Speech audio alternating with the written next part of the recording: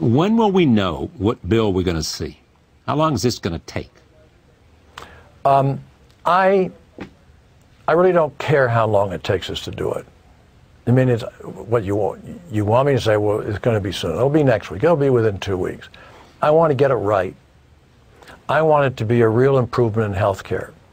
And if the amendment process in the Senate Finance Committee, and I've got 17 that I'm going to offer, and another 17 that I might offer, and so and others feel that way because this is the chance where this is my chance, having not been part of the Gang of Six, to introduce what I feel strongly about and try and get support for it. And if I carry a majority of votes, even if it's just a majority of one, then my policy prevails and becomes part of the Senate finance package.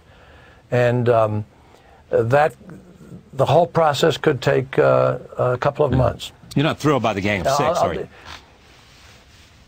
No, I'm not. No, I'm not. But that's a, that. I just don't think you do legislation that way, and particularly if you end up not getting any of the of the three Republicans, and hopefully we will get Olympia Snowe.